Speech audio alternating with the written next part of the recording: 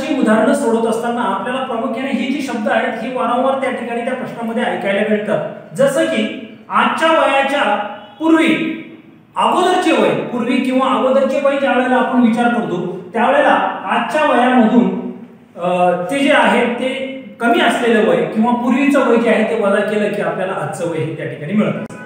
त्यानंतर ज्या वेळेला नंतरचा विचार येतो किंवा नंतर हा शब्द ज्या वेळेला वापरला जातो त्यावेळेला त्याच्यामध्ये आपल्याला बेरीज जी आहे ती करावी लागते. काही वेळेला इतका पट किंवा अमुक एक व्यक्तीचं वय हे इतक्या पट आहे पट ज्या वेळेला शब्द येतो त्यावेळेला तिथे आपल्याला गुणाकाराची क्रिया करणं गरजेचं असतं. आणि बऱ्याच वेळेला गुणोत्तर किंवा त्या वयांचं गुणोत्तर जे दिलेलं असतं. आता गुणोत्तर म्हटलं की पहिल्या राशीचं दुसऱ्या राशीचे वगैरे गणितामध्ये आपण जे पाहिलेलं आहे तोच भाग या ठिकाणी आहे की गुणोत्तर म्हटलं की पहिल्या राशीचं दुसऱ्या राशीशी म्हणजे पहिली राशी भागिले दुसरी राशी ते आपण एक्स छेद वाय किंवा एक्स वाय अशा पद्धतीने त्याचं गुणोत्तर जे आहे ते विचारात घेतो. एकूणच काय? हे ज्या वेळेला शब्द आपण वापरतो पूर्वी म्हटलं की त्यामध्ये वजाबाकी आली पाहिजे नंतर म्हटलं की बेरीज आली पाहिजे आणि पट म्हटलं की त्या ठिकाणी गुणोत्तर होतो आणि गुणोत्तर म्हटलं की अशा पद्धतीने भागाकाराची क्रिया ही आपल्याला त्या प्रश्नाच्या अनुसरून ही करावी लागते. तर मग ह्या प्रश्नाचा साकल्याने विचार होतो म्हणून आपण ते पाहिलेले आहे. आता प्रत्यक्षात काही उदाहरणं आणि काही ट्रिक्स आपल्याला या यावर आपण विचार करणार आहोत. चला तर मग बघूया यावर आधारित काही उदाहरणे. उदाहरण आहे एन वर्षापूर्वी यशचे वय तीन वर्ष तीन एन वर्ष होते.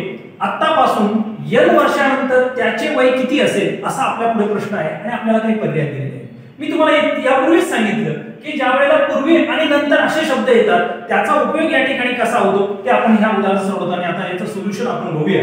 यशचे आजचे वय आपण गृहीत धरूया. यश आजचे वय. एक्स मानू.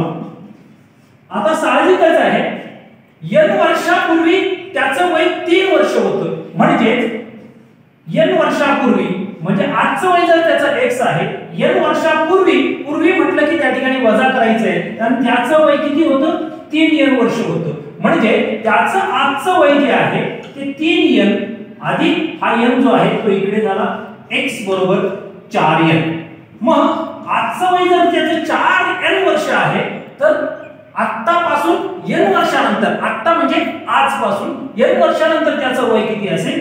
तर एक्स बरोबर आजचं वय चार एन वर्ष आहे. अधिक एन वर्षानंतर म्हणजे पाच यन वर्ष जे आहे ते त्याचं आत्ताचं वय असेल किंवा आजचं वय असेल. म्हणून पर्याय क्रमांक तीन जो आहे ते त्याचं उत्तर असेल. बघा पुढचं उदाहरण. शिक्षक दिन रविवारी असेल तर त्याच वर्षी वाचन प्रेरणा दिन हा कोणत्या दिवशी असेल? असा प्रश्न आहे. आता इथे शिक्षक दिन आणि वाचन प्रेरणा दिन हे दोन्ही दिवस जे आहेत ते कोणत्या दिवशी कोणत्या तारखेला साजरे केले जातात हे आपल्याला माहिती असणं आवश्यक आहे. साहजिकच आहे शिक्षक दिन जो आहे तो सप्टेंबरमध्ये पाच तारखेला आपण साजरा करतो.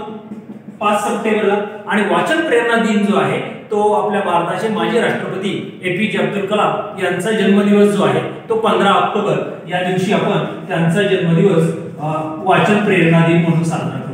म्हणजे सात सप्टेंबर ते पंचवीस पंधरा ऑक्टोबर या दरम्यान किती दिवस आले हे आपल्याला त्या ठिकाणी काढावं लागेल. मग पुन्हा प्रश्न निर्माण होतो. पाच सप्टेंबर मग आता सप्टेंबर किती दिवसांचा आहे? सप्टेंबर महिना. तर साहजिकच आहे हे आपण इथे आपल्याला लहानपणापासून माहिती आहे. जानेवारी फेब्रुवारी मार्च एप्रिल मे जून जुलै अशा पद्धतीने आपण त्याचं काउंटिंग करतो. जर उंचवटा असेल तर एकतीस दिवस त्या महिन्यामध्ये असतात आणि कोलगट भाग असेल तर त्यामध्ये त्या महिन्यामध्ये तीस दिवस असतात हे आपल्या सर्वांना माहिती आहे. त्याच्याबद्दल जास्त बोलण्याची गरज नाही. म्हणजे सप्टेंबरमध्ये तीन तीस दिवस आहे. पैकी हे पाच जे आहे ते वजा केले. म्हणजे सप्टेंबर मधले दिवस किती आले आपले? तर पंचवीस दिवस आले.